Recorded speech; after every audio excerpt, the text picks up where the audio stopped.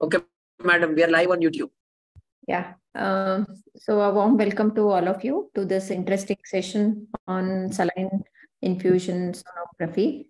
Uh, so I think uh, this is uh, one of the uh, very interesting topics which will be done in this uh, masterclass series. Uh, so I took up all uh, in the afternoon today, and majority of our uh, members in uh, the groups across India, uh, not even like 10% of them are doing SIS, that is sonohysterography or saline infusion sonography. So this will be an eye opener for many people because majority of them are still doing HSGs even a week ago, I mean, I was doing HSGs, but after uh, Dr. Jay put up the uh, saline infusion sonography video, I think one, one of those days in the last week, we did around five cases, and I can vouch that uh, this is going to be a game changer in uh, tubal evaluation for all of you who are watching this uh, session today. Yeah, over to you, sir. Yeah, uh, I agree about that game changer part. Okay, because see remember uh, the most important problem okay if you ever consider tubal evaluation from the patient perspective okay it is not if the tube is open or closed okay it is pain while doing the procedure. So if you if shilpa madam could have taken a poll on youtube okay that how many of you think hsg or ssg is a painful procedure all right uh, out of 100 maybe 98 of the women would have answered that we have heard from our friends that it is a very painful procedure, which is why we don't want to do the procedure. Okay, so is there some other way of evaluating it? Right, so I'm going to be sharing very, very simple things uh, about the SSG protocol, which we do. So we've been doing, uh, I think, close to 1,000 so saline infusion sonographies in a year all right and we have been doing that since the past maybe five to six years at least. Okay. I also want to tell you guys that we are one of the most expensive people as far as doing saline infusion sonography is concerned. For almost every patient we charge around 10000 rupees for doing this procedure. All right? Uh, yeah. Some some people opened their mouth right now. But yes we do that. Okay? And uh, so the obvious question is that why is it so expensive? How on earth do you charge so much? And uh, what are the benefits as compared to hsg hysterosalpingography uh, right? So just one thing remember this is the only procedure saline infusion sonography which you can do in your own opd as a basic ultrasound setup. Definitely for doing hsg you need an x-ray counter machine. There is no question about that. You need to have an x-ray technician. You need to have a dye you need to hold on to the cervix you need to put a screw cannula inside the cervix you need to push it and then your technician should be able to shoot it onto the plate and then once the plate comes to you either you or your radiologist would report it. I do not deny the fact that hsg is a good procedure. I am not denying that fact okay? The game and the argument between HSG and SSG is like choosing between a, a, Mercedes and a Porsche. Both are fantastic cars. Both are going to drive very well. Okay. Mercedes is something which is at a particular price range, but then Porsche is Porsche, right? It is just like that. Okay. So that is the only difference when it comes to doing HSG versus SSG. All right and i'm going to take you through some very very simplistic uh, steps how you can do it in your own opd this lecture is only going to be based on that. And i'm going to cover such beautiful practical points. No diagrams to be drawn as a part of this session i think or very limited diagrams i'll be drawing. I'm just going to be explaining okay? So what is the first thing and what are the indications which we have for doing a tubal evaluation basically? Any patient with primary infertility, any patient with secondary infertility, any patient where male factor parameters are normal, unexplained infertility, you can list them down, you know. But basically, everything with fertility will require tubal evaluation as long as you are planning natural intercourse, timed intercourse, or IUI. Okay. You may choose to not do it in IVF. Okay. You may choose to not do it but you are going to do some evaluation of the tube even in IVF because you want to rule out hydrosalpinx. All right. Fine. This is the first thing. Second thing, do you require any special consent to do saline infusion sonography? So we have a procedure specific consent and uh, I'm going to be sharing if everybody wants it, I can share it on our WhatsApp channel. You can just download it from there and start using it in your practice from tomorrow morning. Okay. Third, what is it, uh, you know, the instrumentation that you need to have in uh, in your setup for doing a saline infusion sonography. So basically you need a simple grayscale ultrasound machine. You can even do it on a portable ultrasound machine as long as this ultrasound machine has a transvaginal probe and a transabdominal probe. Okay. So I'm going to come to the importance of transabdominal probe a little later. There are going to be some people who will say that no, you also need color Doppler settings and uh, for very basic machines where you don't have color Doppler settings, I'm going to teach you a technique when I speak where you can simply eliminate the color Doppler completely. All right, fine. So that is your ultrasound requirements. Do you need the patient to be on any particular day of the period in order to do saline infusion sonography? The answer is no, you don't need it because you are putting saline and saline is a dynamic medium inside. You can evaluate the cavity dynamically Preferably try to not do it in the second half of the cycle if the couple is already trying for pregnancy. Anytime in the follicular phase of the cycle, it is going to be absolutely fine. All right. So don't worry about that as well. What are the other special instruments that you need? So you need the most expensive Cusco speculum. Okay. Try to use a Cusco speculum, which is going to be having a long length of the shaft so that you can put the Cusco speculum irrespective of the size of the vagina. All right. We don't use sim speculum for this. I'm talking of what I use. I use the Cusco speculum. There are people who use two sim speculum and they are also very happy. Okay. Then comes the question, how will you, you know, do you use a specific saline infusion sonography or an SSG catheter or do you use a Foley's catheter? Okay. See, one of the problems which we typically encounter in HSG is cervical stenosis at the time of entry. Okay. And many a times our radiologist or our colleague will report it, Arey yaar, bahut tight tha. Patient was having too much pain and this pain causes spasm, which will give you a false negative uh, bilateral proximal block report. Okay. But uh, there are three options here. So one, you can use the SSG catheter. It is available very commonly. You can ask any vendor, less than 200 rupees. If you don't want to use that, because the SSG catheter doesn't have a bulb inside. Okay, it doesn't have an inflatable bulb inside. It just has a blocker at the external os. All right, so you can use that if you want to use. Second, very simple, you can use a pediatric Foley's. All right, this pediatric Foley's is almost going to be available with every chemist it is beautiful. It, when it goes in inside, it this pediatric Foley's is small, no? So it had the has that rigid plastic thing inside. You know, once the catheter goes inside the cavity, you can just pull it out. All right. One of the best ways to put all these things is when you do a transvaginal probe inside, you assess if the uterus is anteverted or retroverted. Okay. And just put the Foley's very simply, it will go. Now, just in case the internal os is pinpoint, it is very, very simple what you are supposed to do. Take a dilator or take your uterine sound, you know, paste some jelly over it, pass the sound through the cavity.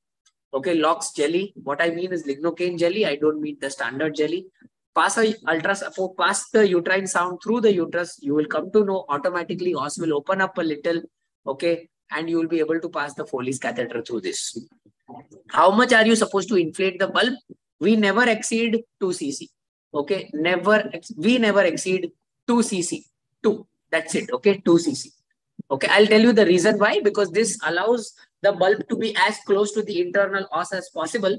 And when you are pushing the saline, it gives you a much more beautiful dynamic 3D assessment of the entire cavity.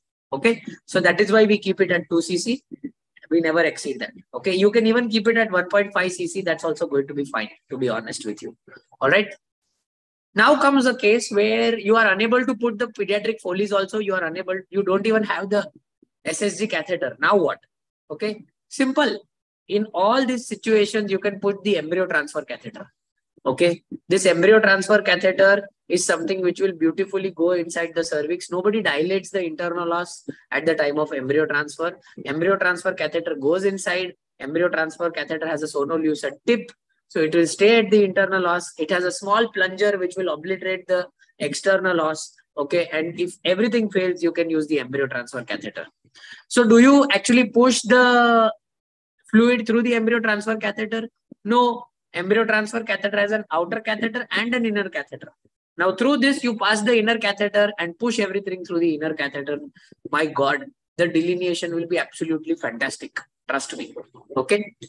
So then comes what other preparation do you do in order to alleviate the pain of the patient? All right. So it's very simple.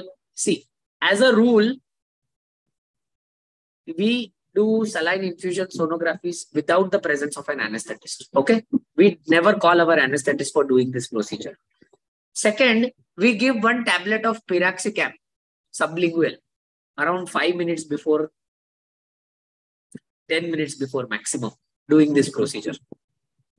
We always give atropine to the patient before doing the procedure because sometimes when you hold on to the lips of the cervix, patient can develop a vasovagal attack. Okay, so we do that. After doing all these things, it is important that once the patient is positioned in lithotomy position, we are going to give table a little head low. This head low is going to be a 10 degree head low to the table, not more than that. Okay. Automatically, what this 10 degree head low does is some amount of anteverted anteflex uterus will become mid position. Okay. And your catheters will go in very easily. Retroflexed will stay retroflexed only mid position will say mid position only. But most common uterus in nulliparous women is anteverted, anteflexed. Okay, it will become slightly mid position and your thing will go in easily. Do you need to have a half-filled bladder for doing all these things? It is completely optional. Okay, even if you have a you know some amount of urine collected in the bladder, there is no problem as far as doing SSG is concerned. It doesn't really distort the cavity in any manner. Okay. So now comes what do you use to distend the cavity? Okay, what is your infusion medium? So our infusion medium, we have shared it. It is very, very simple. 20 cc saline, 2 cc lox, 2% jelly. Everything is 2. 20 cc saline, 2 ml, 2% lox jelly. Okay, just mix it in a sterile bowl, small bowl. You know, the whole thing will form a nice little paste there will be small, small, small bubbles also which have formed inside it, which will be beautifully sonolucent. The great advantage with this is when you pass this as a distension medium in the uterine cavity, because it is a jelly with lignocaine, as soon as it comes in contact with the cornual ends where the spasm is more, okay, it will allow for good amount of nice, comfortable, slow acting local anesthesia topical application. Okay. I think Shilpa madam mentioned in the session at the starting that she was doing HSGs for a long period of time. And after listening to us, she started doing SSGs. The I don't know if the tubes were patent or not, but the greatest difference you will find is that the patient will have an absolutely pain-free experience when you do this. No patient will do cha, chu, chi, oh, nothing. Okay. Patient will be watching on the screen as if some movie is going on. Okay. What size of syringe you need to push? We need to push it through a 20 cc syringe. Do you need to push it slowly or fastly? Push it fastly because you want it to spill out through the tube. And when you want it to spill out through the tube, you need to observe the spillage which is occurring. Okay, this spillage is unmistakable. I mean, and even if if you have the highest degree of cataract in your eyes, no, you will still see you will still see this. Nobody should laugh. Okay, you will still see this spillage. Okay, trust me, you cannot miss out on this spillage. It is something which is so evident. Do you need to add a Doppler in this entire situation?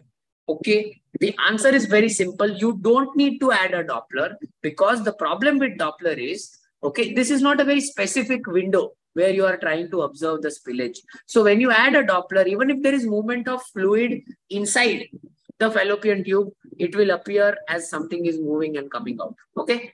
So that is one thing which is important. We almost always add a 3D once the saline has gone in the uterine cavity. And it is beautiful to delineate polyps. It is beautiful to delineate cornual polyps as well, which will otherwise get missed out. It is beautiful to delineate intrauterine adhesions. Okay. So these are the things which are important. Now comes certain, uh, yeah, obviously the probe is TVS. I mean, you are testing this on a TVS thing. Okay, we are going to show you a video. Just hold on. All right. What is going to happen in certain challenging situations? So I'm going to show you a challenging situation today. I came to know about uh, this session today in the morning. Okay. So when I came to know uh, today in the morning, I really did not have anybody who was posted for an SSG today. So I actually took care of one hysterectomy patient. I convinced her to do an SSG this hysterectomy I have shown live also today, huh? Ventrofixed uterus. So I'm going to play that video, okay, uh, for saline infusion sonography, okay. Both the fallopian tubes are beautifully blocked. No need to worry, okay. I'll show that, see. And then Shilpa madam will, uh, one minute, I shall share the screen. And then Shilpa madam will also share the screen because she has something which has open tubes, okay. Yeah, see, this is your pediatric Foley's catheter inside. Can you see the distension? Yeah, it is a large adenomyotic uterus, but can you see the beautiful distension inside the cavity which is occurring? Now, this distension inside the cavity, cavities, I told you, no, saline infusion sonography is so beautiful that even if I blind your eyes, no, give you the best possible cataract, you will still see it. See, even if I blind your eyes and if I force you to believe, no, like how we are forced to believe in our post graduation in gynecology. See there is the ureter. Poor postgraduate in first year will always say ha madam ne dikhaya to udhar ureter hi hoega here nobody will agree to me if i say there is a spill you will not agree only you will be like kya jhoot bolta hai you know the reason is see this was a ventrofixed uterus ovaries were slightly abnormally placed and we tried to push the dye inside and not even a millimeter okay, has come outside. So it is a simple report. Both the tubes are blocked. Nothing can be done about it. And because nothing could be done about it, the lady has completed her family. So we also don't really have to worry. Her hysterectomy is already finished. Okay, for this lady. I would simultaneously request uh, Dr. Shilpa to also share screen and show up normal video because she has taken a normal video today. Madam, can you share the video? Yeah, yeah, just one. So I'll try and explain. Um, so this is uh, what we use. This is the tray. I mean, uh, see, we do, uh, I have done five in the last, uh, uh, last seven days. This is uh, 20 ml saline where we'll be adding the jelly. This is, we assume it is 2 cc uh, xylocaine jelly and we mix it so the we have only 10, uh, the 10 cc syringe here. So that is the pediatric Foley's. We have a betadine uh, solution. And uh, then uh, we have the whole towel, all that. So I I use the same speculum. I hold the cervix also because I'm more comfortable that way. Uh, and uh, this is the pediatric Foley's number eight. there is a guide wire uh, in there and uh, we take it out. Uh, I inflate it with uh, 2 to 3 cc. Usually I uh, it will spill out. So I inject 3, but it's actually only 2. So then uh, we see that the bulb is inflated in the uterine cavity.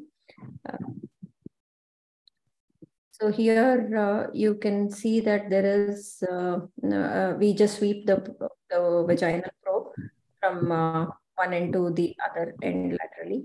And here you can see that there is slight, uh, mm, yeah, see, the, the cavity is distending and then uh, the, see this is quite new for us. So we are a little struggling here. So here, this is the, uh, here you can see the lumen uh, coming out, uh, the saline with the the uh, little particles which are uh, coming out. So,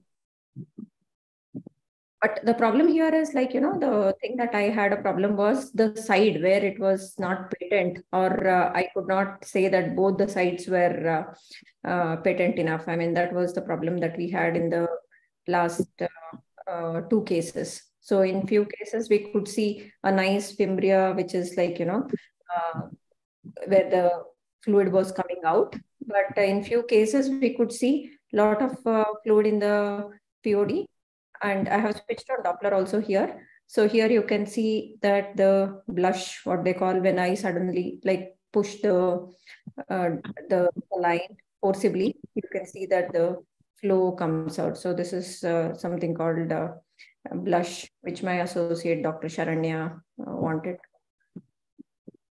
uh, show it to everyone. This is one of uh, the video. Here so you can see that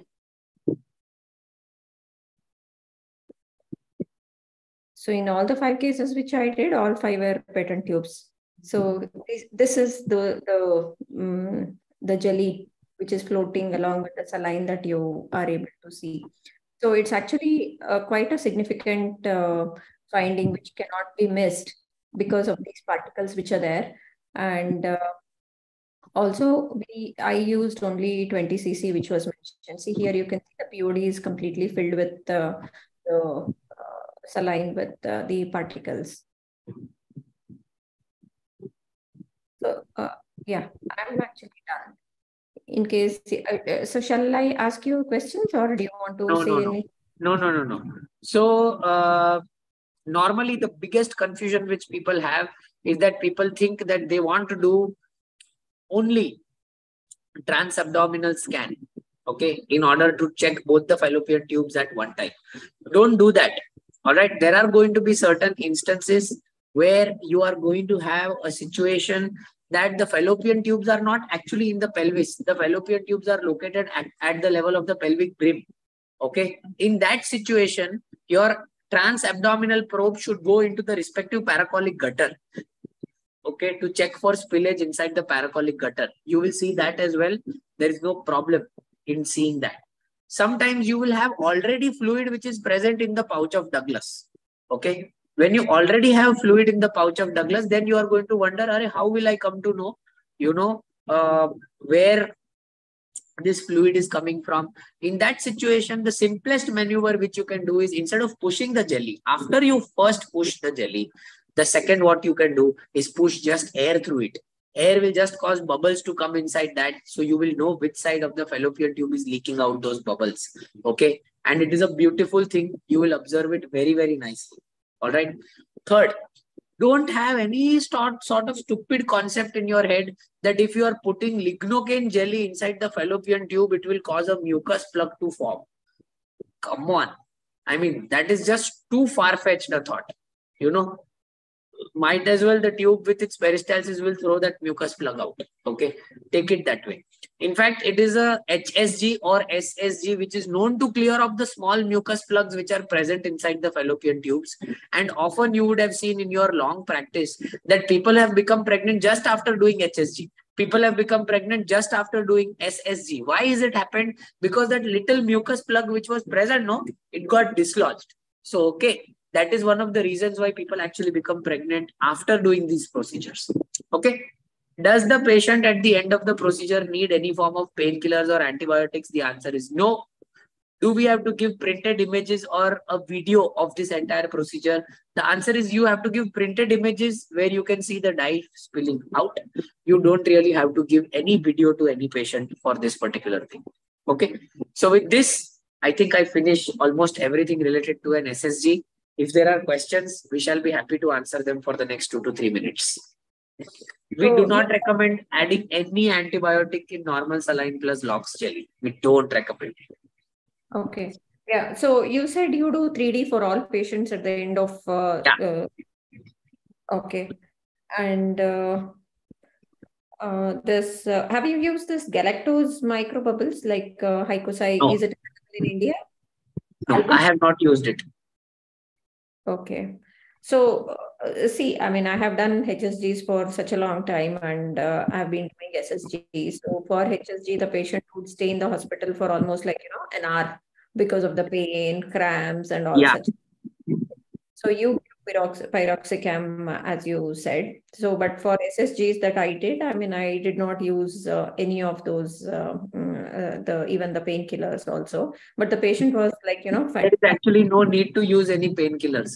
Honestly, okay, we we are using it just for hypersensitive patients, you know, and as a part of protocol, one tablet to be given. As I said, it is such a simple thing that you know post the procedure, patient just walks back to office or home.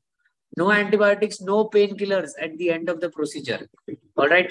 We also don't do mixing of any dexamethasone in the saline. We don't do anything. It is just saline with it's why do you want to add complications? You are not putting a culture media inside the fallopian tube. Okay. It is just 20 cc along with 2 cc of lox jelly. Finished. Okay. It is absolutely simple. The other thing, lot of people have this misconception that when I do HSG, no, patient has permanent records. And HSG, all doctors can interpret equally well.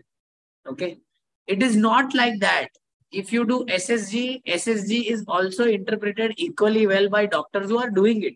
See, majority of the people don't do it because they don't know how to do it. Second, they don't want to do it on their own only. And third, they think, अरे HSG radiologist is doing ना मैं क्यों भेजा खराब करूँ? You know, something like that. But if more, more, more, more people start doing it, it is so simple. You don't even have to pass that gas, put that stethoscope on the abdomen. All that is all antique pieces. Okay. It is so beautiful, this saline. It will just spill and you will see it here. So should the saline be warmed, uh, pre-warmed? Do you do that? No. No, these are uh, questions from someone. Okay. So you said it has to be pushed uh, a little fast so that we can see the spill. Uh, but over how many minutes or anything, or you just push it? I'll calculate it tomorrow and tell. How do you prevent the backflow? I used an artery to clamp, uh, and I used. Uh, how did so you, you use a screw cannula over that pediatric Foley's head, and then Oh. push it through it. Nothing will happen. It will stay in that screw cannula. Okay, okay, okay. So you use max 20 ml, uh, is it? No, Or, no, uh, madam. If you want to use 40, you know, you can use 40 also. But what typically happens, the more fluid you add, no. If the tubes are patent, there is more fluid coming in the pouch of Douglas. Then over more and more fluid, it becomes difficult for you only to interpret which tube was open, which tube was closed. Okay. Have you noticed any complications uh, because you have done so many? Yet to see. Okay. Don't worry, this is not going to cause tubal rupture. Nothing like this happens. It is going to go from the uterus, which is myometrium, inside the fallopian tube. Okay, you are not doing uh, injection of saline in the fallopian tube that it will rupture. Okay, nothing like that happens here. Okay. So, so people are saying that reproducibility is diff difficult, is- but I don't think so. See, that day, I mean, we we took one procedure and then we were pros, you know. I mean, uh, we, we were really finding it very easy because I used people who are worried about reproducibility should only comment after doing 25 procedures. okay. So vasovagal attack, uh, have you had any patients? We always give atropine, madam. Hmm. So TS, you have explained. IUI cannula, can it be used? Up to you. Use anything. You But can use a straw also, as long as it is in the cavity. You just need something from outer cavity to inner cavity. Okay. And then that has to be blocked so that there is no backflow. Use whatever you want.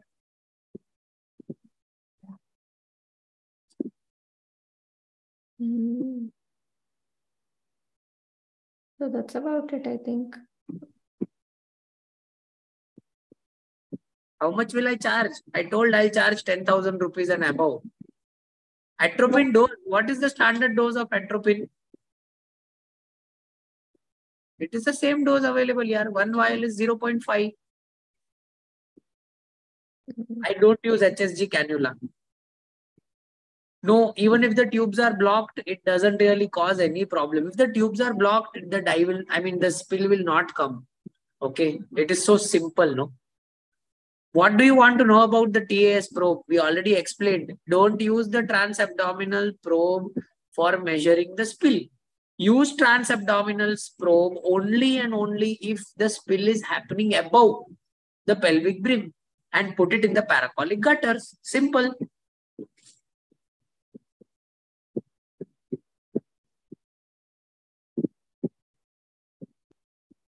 Yeah, I think that's it. I think we are done. We are good. Yeah, yeah. thank you so much. It was excellent. So when the internal os is uh, wide open, so that time we can clamp an Alice or something to block it, right? But to prevent the you are you're putting balloon, no? 2 cc. That 2 cc balloon will mm-hmm. clamp the internal os.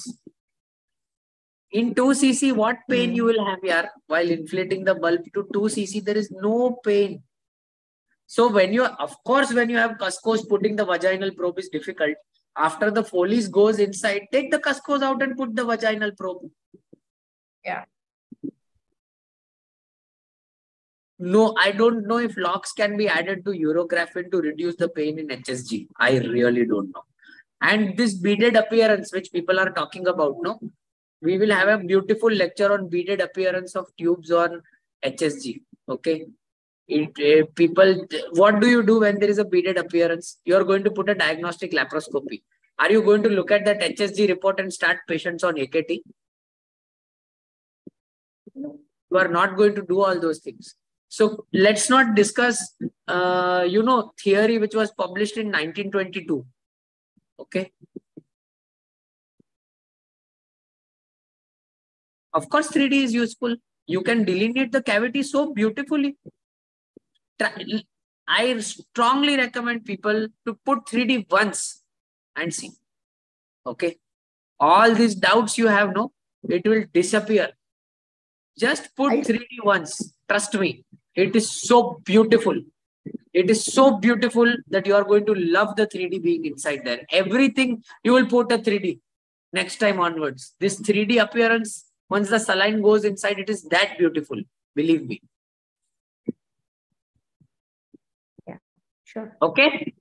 Thank you so much. It was excellent. Yeah. Thank you very much.